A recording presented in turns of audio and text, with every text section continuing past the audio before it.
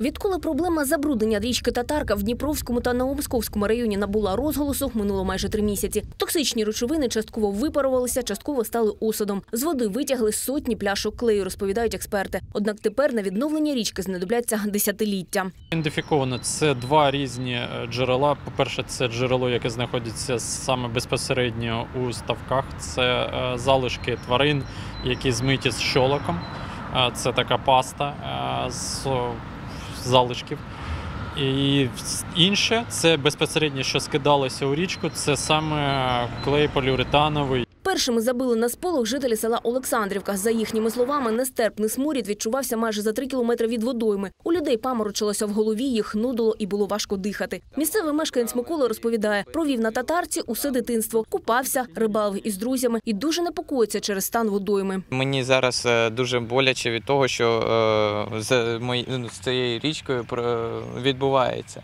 Тому що ну, вона за- забруднилася, е, риби тут уже немає, я не знаю, коли вона тут е, з'явиться. Експерти, які обстежили татарку, говорять, вражені масштабом екологічного лиха. Небезпечні речовини на 9 кілометрів водойми. Наразі забруднення локалізували і фахівці шукають відповідь на кілька запитань: як краще видаляти отруту, скільки знадобиться часу для знезараження річки, та чи потрібна капітальна дамба, бо зараз тут тимчасова загата. Якщо буде потрібно, будуть залучені додаткові фахівці, щоб зрозуміти, які коагулянти потрібні, тобто е, які хімікати, щоб це зв'язати, е, який навіть е, хоча б приблизно об'єм буде утворено цього нового забруднювача, і відповідно який це буде клас забруднення. Експерти запевняють, забруднення з річки видалятимуть. Проте як утилізувати, визначиться, коли з'ясують клас небезпеки речовини. Цим опікуватиметься спеціалізована компанія. А щоб всі витрати не лягли на обласний чи районний бюджети, поліція Новомосковська шукає тих, хто скидав у річку токсичні речовини. Справа розслідується новомосковським відділенням поліції, слідчим відділенням за першою частиною 272 статті Кримінального кодексу України, а саме порушення правил охорони вод.